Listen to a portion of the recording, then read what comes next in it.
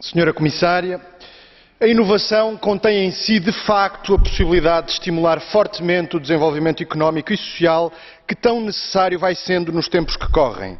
Mais do que isso, podemos mesmo dizer que a inovação constitui um meio necessário para ajudar a responder a vários dos problemas e desafios com que a humanidade hoje se confronta. Como relator do parecer da Comissão do Ambiente, da Saúde Pública e da Segurança Alimentar, procurei sustentar esta ideia, chamando a atenção para alguns dos principais desafios que enfrentamos nestas áreas. A escassez e a eficiência de uso dos recursos, a valorização e tratamento de resíduos, a qualidade e segurança alimentares, as mudanças demográficas, as novas epidemias, a conservação da natureza e da biodiversidade, apenas para citar alguns exemplos.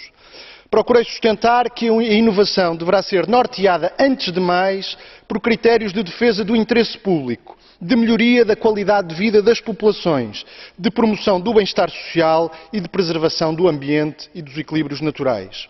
Ela deve ser um elemento-chave das políticas públicas em áreas como o ambiente, a água, a energia, os transportes, as telecomunicações, a saúde e a educação.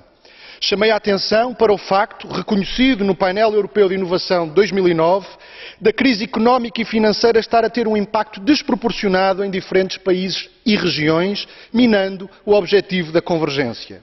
Os atuais constrangimentos impostos aos Estados-membros podem resultar em maiores restrições ao investimento em ciência, tecnologia e inovação, em especial nos países mais vulneráveis.